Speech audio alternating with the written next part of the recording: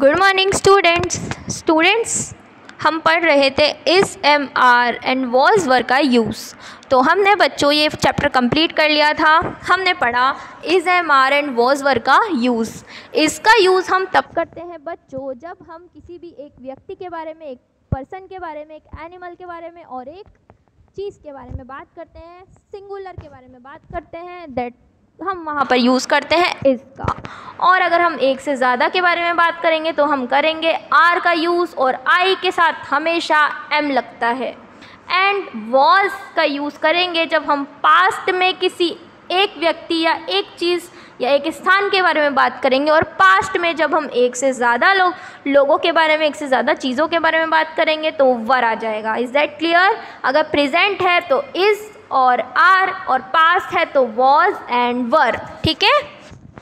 I use with always am ठीक है? अब fill in the blanks in each sentence with the correct option हमें क्या करना है? हमें जो लाइंस दी गई हैं, उन्हें पढ़ के करेक्ट ऑप्शन पर टिक लगाना है। I blank going to watch a movie मैं टुडे मैं मूवी देखने जाऊँगा, आज या जाऊँगी। तो आई के साथ हमेशा क्या लगेगा? मैंने आपको बताया था एम ठीक है? Clear it blank very hot today. आज बहुत गर्मी है, यानी कि प्रेजेंट की बात हो रही है।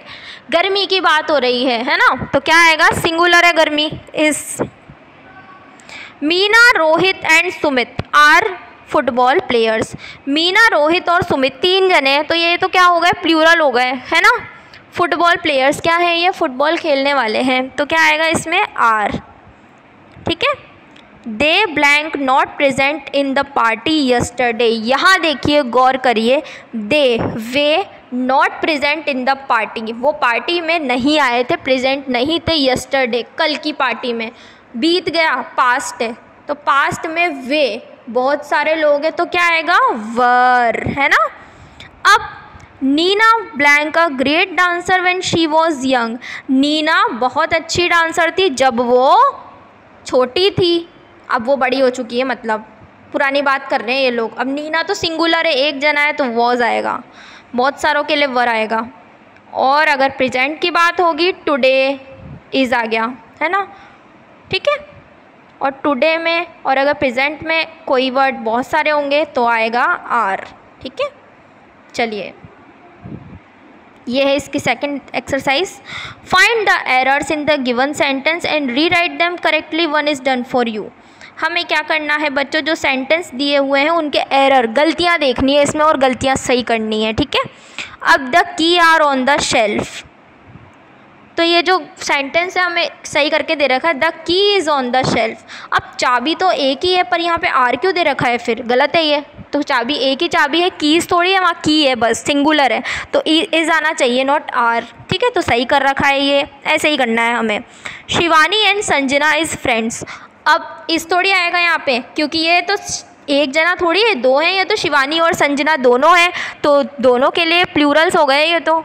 तो क्या आएगा? Are Shivani and Sanjana are friends अब the children is cleaning their room अब देखो बच्चों, यहाँ चाइल्ड नहीं आ रहा, एक बच्चा नहीं है चिल्ड्रन बहुत सारे हैं। तो क्या आएगा?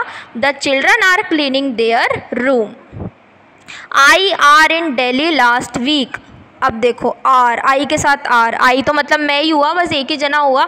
और आई के साथ तो हमेशा क्या लगता है? Am I am in Delhi last week ठीक है?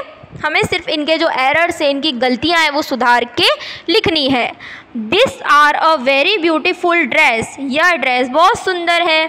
तो ड्रेस एक ही ड्रेस के बारे में बात हो रही है, पर यहाँ आर क्यों आ रहा है फिर? तो क्या आएगा? This is a very beautiful dress ये ये जो ड्रेस है, वो बहुत ब्यूटिफुल है, ठीक है? तो बच्चों, आपको समझ में आ गया होगा इज़ एम आर आप इसको बुक कॉपी में करिए और समझिए, ठीक है?